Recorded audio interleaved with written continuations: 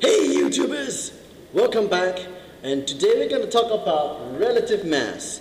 Now before we talk about uh, take the concept of things that you can measure like the mass of this object uh, or the volume in a bottle of water uh, or the volume of gas in a balloon uh, and related to moles, uh, we need to talk about relative mass.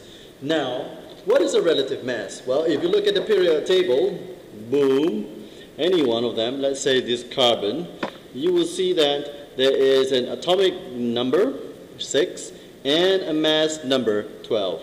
This mass number, 12, is what we call a relative mass, okay?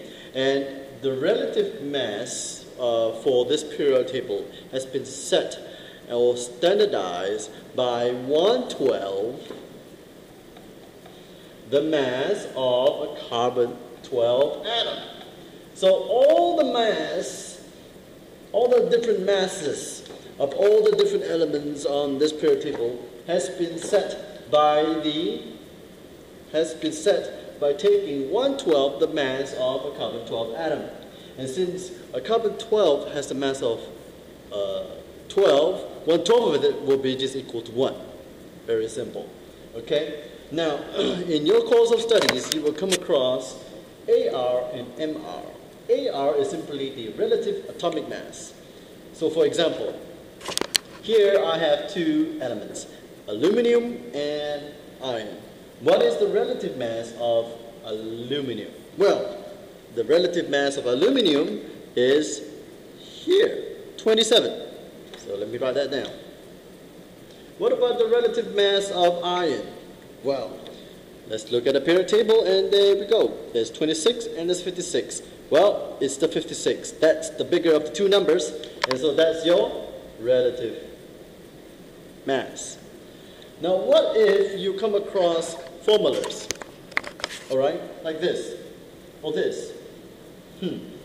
They are no longer atoms. They are compounds or molecules. Okay? So, what you need to do is now count the MR, which is the relative molecular mass, or the relative formula mass.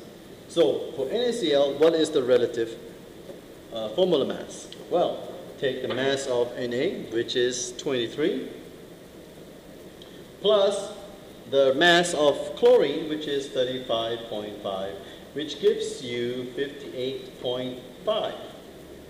That is the relative mass of sodium chloride.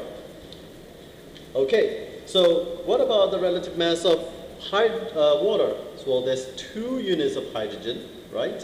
So it's 2 times 1 because that's the mass of hydrogen.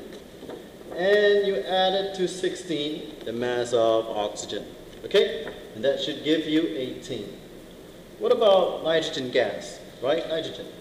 Well, there's two atoms of nitrogen that make up nitrogen gas. So it should be 2 times 14, which is 28. All right, and now we have calcium carbonate. What's the mass of that? Well, calcium is 40 plus 12 plus 3 oxygens, okay? And that will give me 3 times 16. And so you add them up, that should be about 100. So these are all relative mass.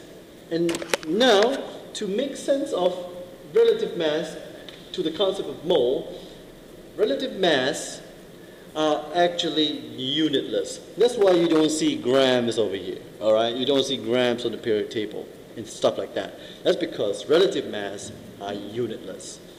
To make them into units, you have to go through an easy conversion, which is to learn a new vocabulary word Instead of calling it relative mass, you can call it molar mass or molecular mass. And when you do that, you basically take all these mass that you've done down here and you give them a unit. And what's the unit of a molar mass? The unit of a molar mass is grams per mole.